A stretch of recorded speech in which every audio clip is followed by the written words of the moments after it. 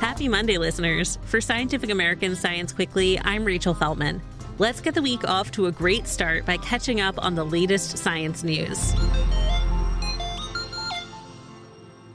We'll start about 3 billion years ago when scientists say a giant space rock may have helped jumpstart life as we know it. In a study published last Monday in the Proceedings of the National Academy of Sciences, researchers describe a meteorite called S2 as being four times the size of Mount Everest. That makes it as much as 200 times more massive than the rock we associate with the death of the dinosaurs. When S2 crashed into our planet about 3.26 billion years ago, the study authors say, life was just getting started. So only single celled organisms were around to experience the chaos wrought by the 36 mile wide meteorite.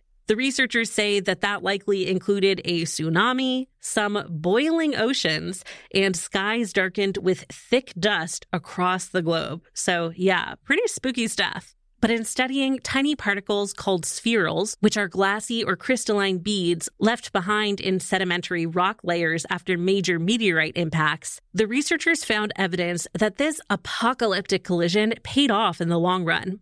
They see signs that the big crash stirred up elements such as iron and phosphorus that made the planet more hospitable to life. The study authors say it probably wasn't an awesome day to be a bacterium living on Earth, but those organisms bounced back pretty quickly, and they actually thrived in the aftermath.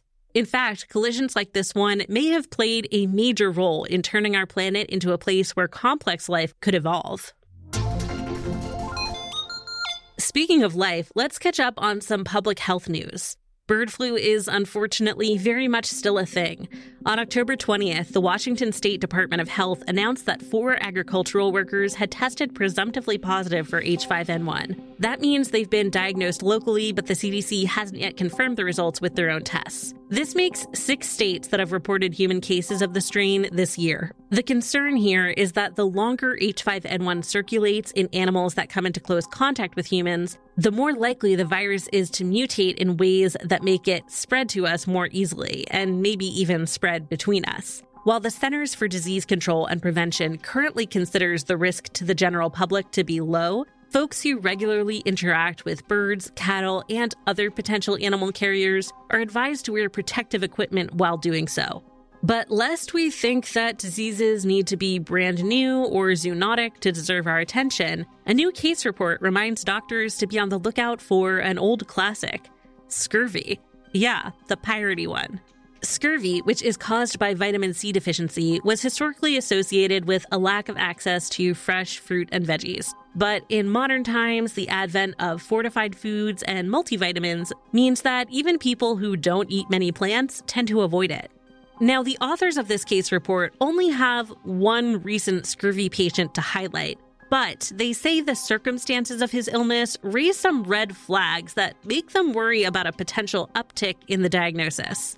The authors treated a middle aged man who presented with anemia, blood in his urine, and a painful rash consisting of red brown pinpricks. But all of his tests and scans came back negative. Then the doctors learned that he was no longer taking the nutritional supplements prescribed to him after his weight loss surgery. He said they'd been too expensive and he'd been skipping meals to save money too. His blood test revealed no detectable vitamin C, which cracked the case and fortunately made his treatment pretty straightforward. The authors point out that people who have had bariatric surgery are at risk of experiencing micronutrient deficiency and malnutrition in general, as this procedure limits the amount of food a person can eat and sometimes lowers the gastrointestinal tract's ability to absorb nutrients. And the authors didn't actually make this connection in their report, but other experts have warned that popular GLP 1 medications can also raise malnutrition risk by lowering appetite. The case report warns that these factors, combined with the fact that high costs of living might increase the number of people who are eating poorly or not eating enough, means that doctors should keep scurvy in mind as a rare but possible diagnosis. Let's move on to some climate news. A study published last Thursday in Science suggests that when it comes to wildfires, speed might matter more than size.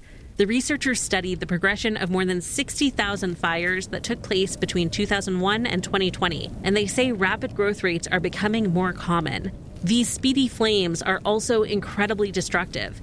Blazes that grew more than 4,003 acres in the span of one day were responsible for 88% of fire related home damages in the U.S. over the nearly 20 year span the researchers evaluated, even though they made up fewer than 3% of the total fires they studied.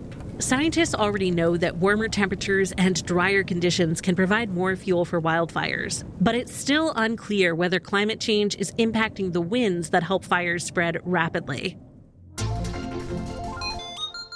And now for something completely different Wellman, the Norse superhero you never knew you needed. During a military raid about 800 years ago, according to a text from the time, someone threw a body into a well at a castle called Sverresborg, possibly to poison the local water source. Why do we care, you ask?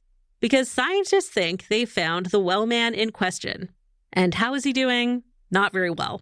His bones actually turned up back in 1938 in said well, but it was only about a decade ago that scientists were able to confirm the body came from an adult male who lived during the appropriate time period to have been part of a well poisoning plot.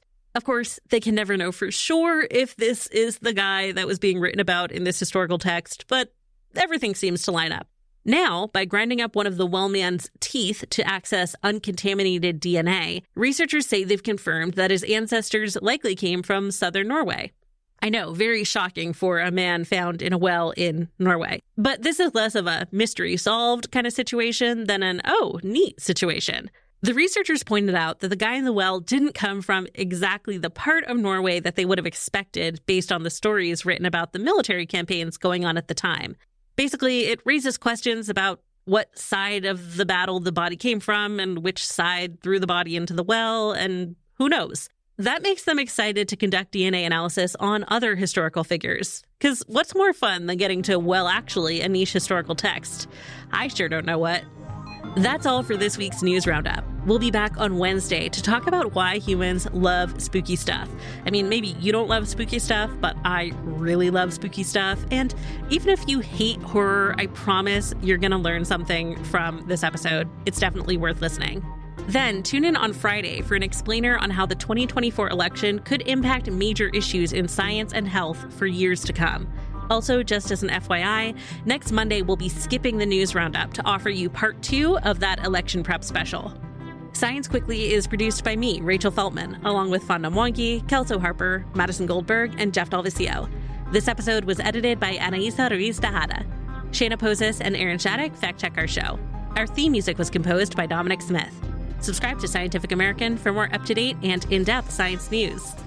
For Scientific American, this is Rachel Feltman. Have a great week.